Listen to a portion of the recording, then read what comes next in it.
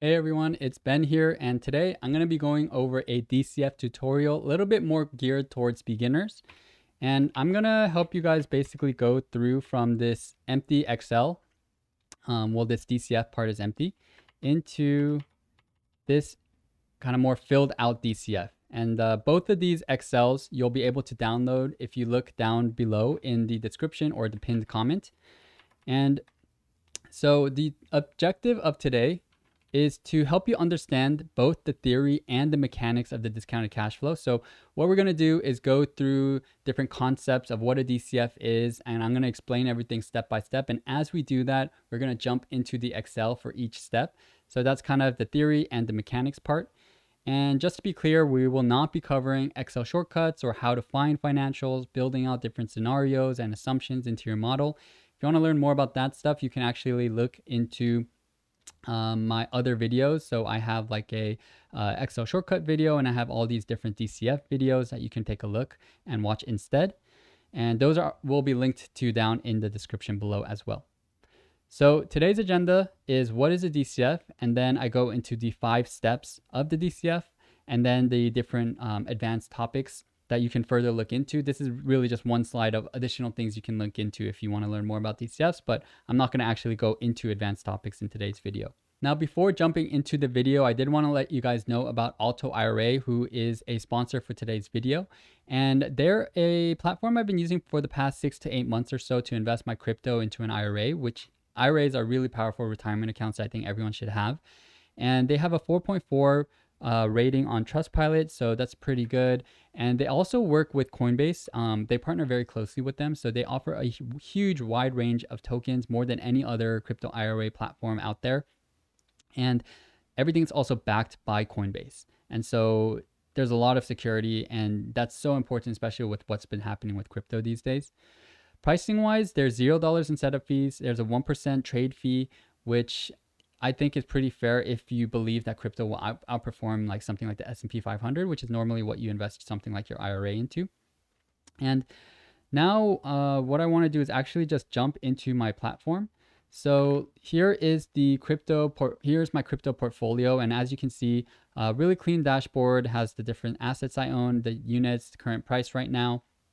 And then um, if you want to actually trade crypto, you just go buy. Let's say I want to buy like $100 worth of Bitcoin, preview order, I agree, and you place your order. So really, really easy, seamless, and um, something, it's a platform, like I said, I've been using for a while. If you use my link down in the description, you can get $50 for free. So feel free to check them out if you're interested. All right, so now let's just jump back into the video. Here again is the agenda and jumping straight into it and the topic of what is a DCF. So here is the interview answer that I would give when I was recruiting for JP Morgan. And so I'll read it to you guys. Um, it's a little bit complicated, but I just want to assure you that if you go through this whole video, I am going to explain every single part of this and we're going to go through it in Excel together. So if it's all new to you, don't worry. But a DCF is a valuation methodology that measures the intrinsic value of a company based on the sum of the present value of its future cash flows. The first step is to project out future free cash flows for five to 10 years by making assumptions on the company's revenue growth and EBIT margins. Next, you calculate the terminal value by either using the exit multiple or perpetuity growth, perpetuity growth method. You then discount back your projected free cash flow and terminal value using your WACC to the present value and sum them together to get your enterprise value. So that is the long-winded answer for what is a DCF. But the simple answer is that a DCF just simply measures the value of an asset based on the amount of cash it can produce from today until the end of time. And we'll go through all of this by going into the five steps of what a uh, of how to build out a DCF. So the five steps, which all of this should sound familiar since we just went through it, is first to project out your future free cash flow. You then calculate your weighted average cost of capital, also known as your WACC. Then you calculate your terminal value. You then discount everything back to your present value, and then you calculate your implied share price. So let's start with step number one. The formula for your future free cash flow is your EBIT times 1 minus your tax rate, plus your depreciation and amortization, minus your capital expenditures, minus your change in net working capital, and that gets you to your free cash flow. And in the future, I'm gonna, like I think I mentioned in the past, um, I'm gonna have, I'm gonna build out a really long uh, extensive video kind of explaining everything in excruciating detail. But to briefly go over some of these, uh, what all this is, EBIT is earnings before interest and taxes. And so this is your also known as your operating income. So before you pay out your interest to your debt holders, before you pay out any taxes, that's where your EBIT is. And then you subtract out your taxes and you add back depreciation and amortization because it's a non-cash expense and you're trying to get back to your free cash flow, right? And then you subtract out your capital expenditures, which is cash you spend on your plant, property, and equipment. Subtract out your net working capital, change in net working capital, which is the cash that you're spending to kind of run and operate your business on a day to day basis. Your net working capital, uh, one thing I do want to note here is that people often say it's just your current assets minus your current liabilities, but that's actually your current operating assets minus your current operating liabilities. And the word operating is kind of exactly what it sounds like. The li- assets and liabilities related to the operations of your business. So something like cash, which is a current asset, is not something that you necessarily kind of use a, on a day-to-day basis to operate your business. Like you might spend cash, but it's different from something like your accounts receivable, which is a, directly has a correlation to the operations of your business. And then so also something like your short-term debt. That's a current liability, but on it's it doesn't necessarily tie in with your day-to-day operations, right? It might be how you fund your business, but it's not necessarily um, a reflection of how your business is operating. And so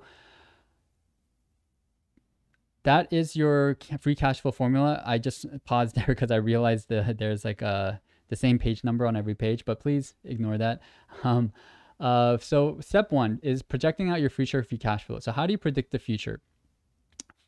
Very simply, uh, I mean, a lot of times this requires a ton of research and thought, but in a nutshell, usually what you do is gather historical data to look at trends. You compare against industry growth, compare against other similar competitors, do a lot of research, and then uh, kind of like predicting these things out. For our, purposes, um, we're not going to necessarily be doing that, but um, resources you can use are bamsec.com, Edgar, uh, FactSet, CapIQ, and Bloomberg. These two uh, are cheaper. And well, Edgar is free. BamSEC is like a small subscription fee that you pay per month. These are like over a thousand per month. Um, but if you can access to them, then uh, they'll provide like estimates for the future, which is best, uh, which is better than just like historicals, which is what these two provide. And so typically you predict project out your free cash flow for five to ten years, and people always ask why. And for five years, usually it's for companies who are more mature and have stable cash flow. And then for 10 years, it's for growth companies who need time to trend down to their terminal value growth rate. I'll explain what terminal value is, but essentially companies just need to kind of grow to a kind of sustainable growth rate that they'll grow from your last projected year until kind of the end of time. But honestly, the answer is kind of just because 5 and 10 are nice round numbers. You could do a 4-year DCF or an 8-year DCF. Doesn't really matter. Um, I mean, it matters based on your figures, but in terms of the actual number of years, like there's no hard and fast rule. But I will say that when you for like uh, to, to give you like a counter example as to why it doesn't have to be five to 10 years, when I was building out biotech DCFs when I was at JP Morgan in the healthcare company, my DCFs were like 20 to 30 years. And so it really um, is up to the person who's modeling. So let's now actually jump into the Excel. And so we're to build out this DCF part. And I'm to just be linking to our figures that we have up here for our revenue. And then I'm to calculate our growth, which we get by getting our current year divided by our previous year minus 1. We're to do something a little bit different here for our projections. We're to go to our uh, revenue growth here and then to get our projected revenue, get our previous year times 1 plus your growth rate. EBIT will do something very similar. So I'm pressing equals and the up arrow key and then Alt ESF in order to get uh, in order to copy paste across the formula. And then margin, we're just getting our cell above here, dividing by our revenue. Alt ESF again. And this will be, the shortcuts I'm mentioning will only work on a PC, by the way.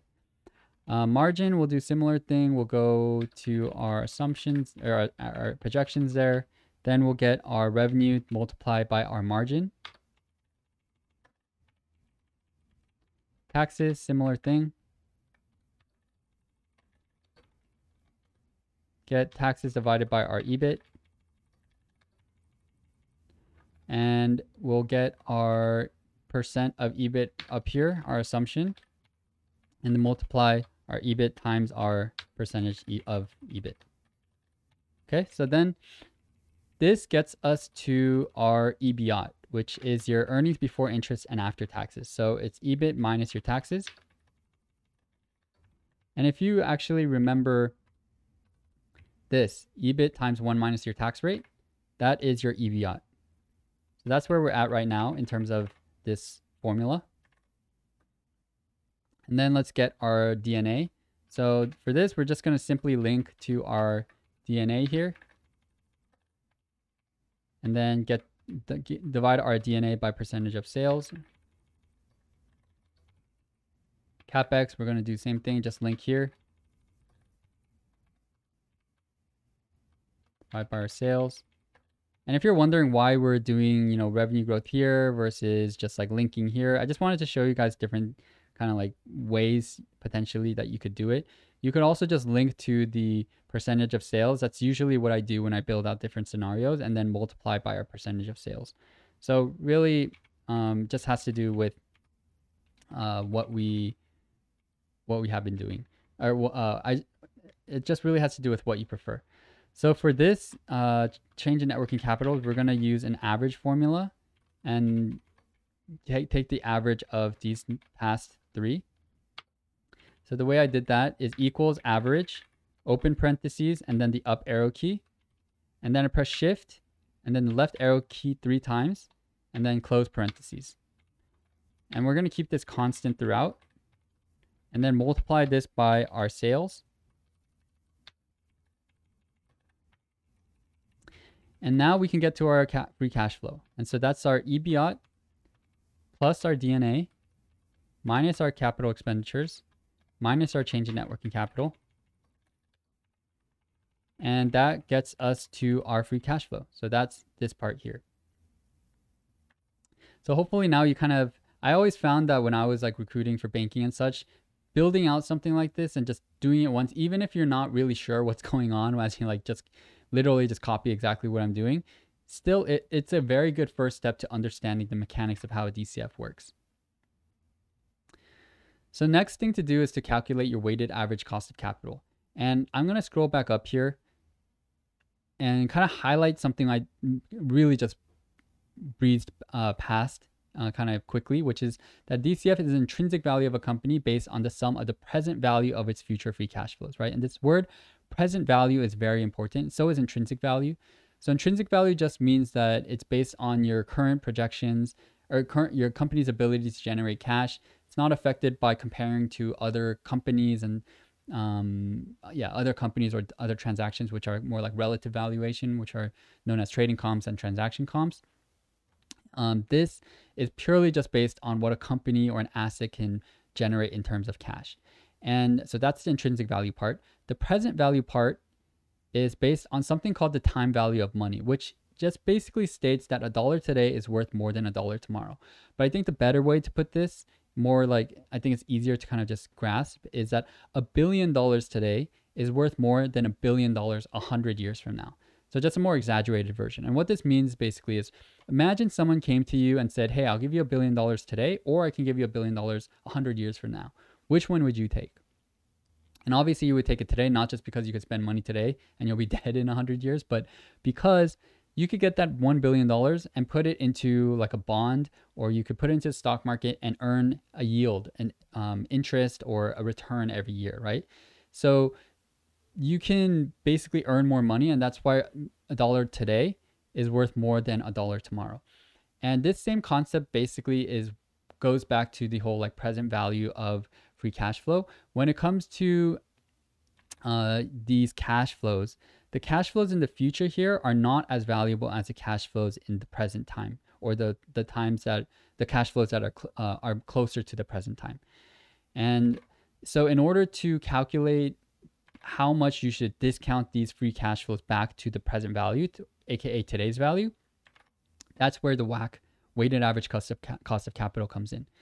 So your WACC, um, just in terms of definition, is the rate of return required by debt and equity investors for your company to fund the growth of its future free cash flow. So whenever a company tries to grow, it's going to need cash in order to fund its uh, business, right? You can't just start a business with absolutely nothing. Uh, even if it's a lemon, lemonade stand as a kid, you need to borrow money from your parents, right? And they might give it to you for free. But when you're running a business, no one's really going to give you money for free.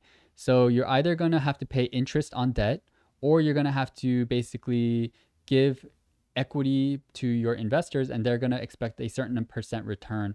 And the equity part's a little bit more vague, but um, these two are basically the ways you can fund your your business. And uh, so that's kind of what your WACC will incorporate. So the discount rate, aka your WACC, is used to determine the present value of your free cash flow. And the formula for it is your percentage of equity times your cost of equity plus your percentage of debt times your cost of debt times one minus the tax rate. And again, we're going to go through Excel uh, with this, so it'll be a little bit more clear as to what this all is. But your cost of equity formula is your risk-free rate times your beta times your expected market return minus your risk-free rate. And then your debt, cost of debt is simply just your interest rate. And to explain these a little bit, your risk-free rate is a rate of return that you are almost for sure going to get back. So usually people look at like the 10-year treasury yields because the government US government's not going to default. Typically tends to be something like 2% or so. Beta is how volatile your stock is versus the market. Expected market return, that's like how much you expect to uh, earn by just investing in the overall market, usually something like 8 to 10%, and minus your risk free rate. So that gets you to your cost of equity. And let's now jump into our Excel. So if you go into this WACC uh, tab, um, I have the formulas here again in case you kind of forgot them. But I'm going to get our debt figures, which I've kind of just included here. So debt is here and percentage debt we're going to ignore for now. Equity value, uh, I'm just going to look up on Chrome. Let me pull that up. Amazon stock. So Amazon currently has a 1.25 trillion dollar market cap. So I'm just have zero zero zero zero. So 47 billion dollars in debt, 1.25 trillion dollar market cap, and so debt plus our equity. That's our total right? And then for our percent of, of, of that, you just get your debt and divide by your debt plus equity. And then your, your percentage of equity, you just get your equity value divided by your debt plus equity. And then your cost, uh, these I just kind of like pulled up um, and as like assumptions. And for our cost of equity, this is your risk-free rate plus your beta times your market risk premium. Again, assumptions that I just pulled. And then our WACC here using our formula is our percentage of equity times our cost of equity plus our percentage of debt times our cost of debt times 1 minus the tax rate And so we get to a WACC of 7.82%. And so we're going to use this later, but hopefully just going through this kind of helps you see, you know, like when, when I explained earlier percentage of equity, percentage of debt, that could be a little bit confusing as to what that means. But it's really simply you get your debt, you get your equity value, and then it's simply just a percentage of that. Of that. And for all these other things, um, these are just assumptions that you uh, pull from your databases and whatnot. So that is the WACC. Let's now jump back into our PowerPoint. The next thing we have to do is calculate terminal value. And terminal value is the value of a company's future free cash flow from its last from the last projected year of your DCF until the end of time. And if you remember what I said earlier about, you know, what is a DCF? It's the value of an asset based on the amount of all the cash it can produce basically until now until the end of time right? And you need to calculate what not just the next five years or 10 years, but also all the years after that. And that might sound really impossible, but it's actually really easy. So there's two methods, the perpetuity growth method or the exit multiple method. And you can choose between the two. You can weight one over the other, or you can do like a equal weighting. We're just going to only focus on the perpetuity growth method today, but the formula for perpetuity growth method is your last year's free cash flow times one plus your terminal growth rate. And this terminal growth rate is usually something like the rate at which your overall country is growing at for the company that you're projecting for. So for example, if we're in the US, we want to look at something like GDP growth, which tends to be something like 2 to 3%. And if you view the entire US economy as a really really really large company, you're not going to that company company the US country is growing at a 2 to 3% rate typically, right? And so the thought behind this is if you have a company go on until the end of time, it's not going to grow faster than like the US economy uh, over um and it's like year 100 or 200, right? It'll probably trend towards like a similar uh similar growth rate. So that's your terminal growth rate.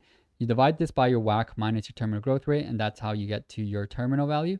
And that again is your last projected year until the end of time amount of cash that company is projected to produce. The other method is the exit multiple method, which is very simple. You just get your last year's projected EBITDA and then you multiply by an exit multiple. And for your exit multiple, this is based off of other similar companies and what they're trading at. And this is uh, really you just multiply the two, and that's how you get to your terminal value. Um, so again, when I go to do my like more super uh, exhaustive tutorial of DCFs that I'll make probably next month or so, that'll go over like all these different things. But for today's video, we're just going to get our terminal value. So, or we're just going to uh, calculate our terminal value using the perpetuity growth method. So what we're going to do here is first off, actually, we need to link to our WACC. So we have our, have our assumptions here. I'm going to hide these things here so that we can more easily get back to like our figure up here. And I guess this should be also be hidden. Okay, so terminal value here equals your last projected free cash flow times 1 plus your terminal growth rate. All of this divided by your WACC minus your terminal growth rate. Right? And that gets us to our terminal value. Last year free cash flow times 1 plus your terminal growth rate, all divided by WACC minus your terminal growth rate. So that is your terminal value, but we need to discount everything back to present value.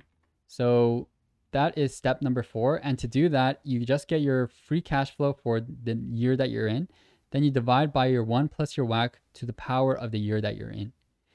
I know that's probably super confusing, but I'll show you what it is. So you get your free cash flow, you divide by one plus your WACC, and then you power that to the year that you're in, which is up here, right? And that's that's really it. Um, and so if you if you uh, present, so you do that for all of your uh, free cash flow figures, and you can just literally copy paste that across. And then your present value of terminal value, you do it for the last projected year you're in. So you get your terminal value, divide by one plus your WACC, to the power of the last year. That is your present value of your terminal value. So that's how you discount back to present value. And then what you do is calculate your implied share price. And to do that, you get your sum of your present value of free cash flow, then the present value of terminal of your terminal value, which gets you to your enterprise value. Then you subtract out your debt, add your cash, which gets you to your equity value, which is the same thing as market cap. Then you divide by number of shares and that gets you to your implied share price. So let's do that together here. So we're going to use the sum formula, so equal sum, and then using our arrow keys and shift. So for here, I'm pressing shift and then I'm pressing the right arrow key, comma, also getting the present value of our terminal value. That gets us to our enterprise value. and we have our cash and debt figures here. We're going to get our enterprise value and then add our cash, subtract our debt, and that gets us to our equity value, right? And our share counts here. So we divide by our, uh, our equity value divided by our share price. And so we get to a share price of 140.02. And I just wanted to show you guys really quickly um, what this kind of all led to, right? So we're going to link to our implied share price. And today's share price is, let me take a, let me look it up. 122.42. All right, and the what this implies is that right now Amazon is undervalued by 14.4% if you believe all these assumptions. Now, caveat here, this is just simply for illustrative purposes. I would not base any kind of investing decision for Amazon based on this. This is literally just for learning purposes. But the whole point of this DCF is to build this out and see what the current share price is to see whether or not you want to invest in this company based on your assumptions. So that's what we were we were building towards this whole time. And if you got to 140.02 while following along, then congrats for uh, doing everything correctly. Um, so that's how you get to your implied share price. And the last thing I just wanted to briefly discuss is our advanced topics. But uh, before that, wanted to actually let you guys know that if you go down to my description, I'm building out a how to get into investment banking course and that'll be um, something that I wish that I had when I was recruiting for investment banking. And so um, I think it's going to be a really, really great course. I'm giving a huge discount for people who sign up early. So feel free to check that out if you're interested. I also have a careers channel called rareliquid Careers, which you can check out. And I have some more kind of career related videos related to my MBA that I'm getting at Wharton right now, and also kind of more like finance related videos as well. In case you want to check those things out, wanted to let you guys know. And here are some advanced topics that I'm not going over today, but I'll cover a lot of these in that more advanced tutorial video later. But there's things like mid-year convention, which is making sure, or which allows you to get your present value of your free cash flow in the middle of the year instead of kind of getting it at the end of the year, which is what we just did right now. There's also things like sensitivity analysis to kind of stress test your different assumptions something that you usually see a lot in investment banking pitch books. Usually also uh, DCFs require building out multiple different scenarios. So like a conservative case, base case, optimistic case. That actually is uh, in my other video, so you can check that out. Um, calculating fully diluted share count, kind of more of an advanced thing where you have to look into stock options, warrants, different all these different kind of dilutive securities in order to get to a true diluted diluted share count and an accurate number. And then there are things like sum of the parts DCFs, which is where you get the different parts of a business and you create like mini DCFs for each. And then you get the enterprise value for each little business. And then you sum them together to get the enterprise value for the full business. So these things, um, if you want to look more into them through like all the different uh, web uh, resources that are out there, if you use Google and stuff, more things you can kind of learn about DCFs. I'll cover a lot of these things in future videos. Um, but yeah, that pretty much concludes today's video and tutorial. And before I let you guys go, wanted to give you a reminder again, if you're interested in growing your investments for into crypto tax-free, if you're into that at all, then feel free to check out Alto. Uh, you can use my link to get 50 bucks for free. I'm also posting a lot of my whole MBA journey on my Instagram and TikTok if you want to check that out. And I also have a Patreon where we have like an investing community. Um, I send out a financial database that I use for investing um, every week. So feel free to check out all those things down in my description. Hope this video was helpful to all of you guys and uh, look forward to more tutorials in the future. With that said, thank you all so much for watching and hope to catch you in the next video. Thanks all and peace out.